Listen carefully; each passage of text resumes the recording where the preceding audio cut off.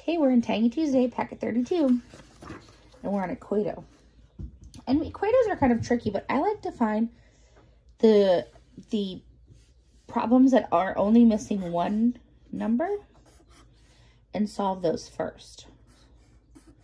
Because it can only be one thing. If you have um, an equation that has more than one missing, sometimes it could be either or.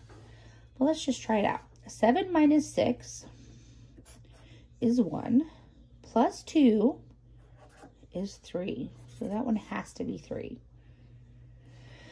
This one, blank plus 3 equals 9 minus 5. So I know that the, the ones on this side have to be the same as this side. So 9 minus 5 is 4.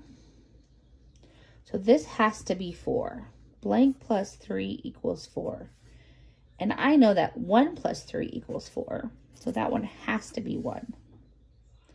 See if you can figure out the rest. And some of them are a little tricky because there's two blank spaces. But by by kind of working with the numbers you have, I bet you can figure it out.